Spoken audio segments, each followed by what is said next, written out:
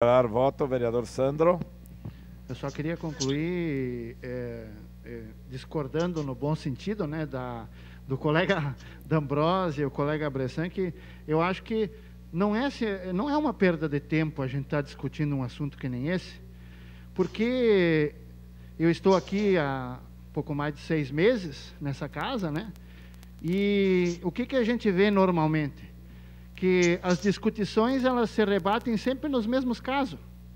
É sempre a mesma coisa, é sempre a mesma cobrança, sempre do mesmo esquema, sempre da mesma entidade, sempre da mesma coisa. Soluções reais eu vejo poucas, muito poucas. Mas sempre discussão em cima da mesma coisa. A gente está sempre aqui discutindo a mesma coisa.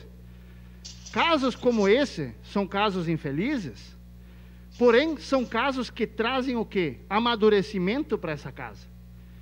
Casos novos trazem amadurecimento à casa. Porque um legislativo, ele deve sim discutir todo o tipo de problema que a nossa sociedade possui.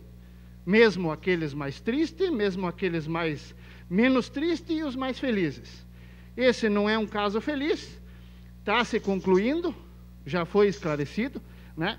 Mas eu não vejo como perda de tempo. Eu acho que perda de tempo é ver pessoas aqui dentro batendo sempre na mesma tecla.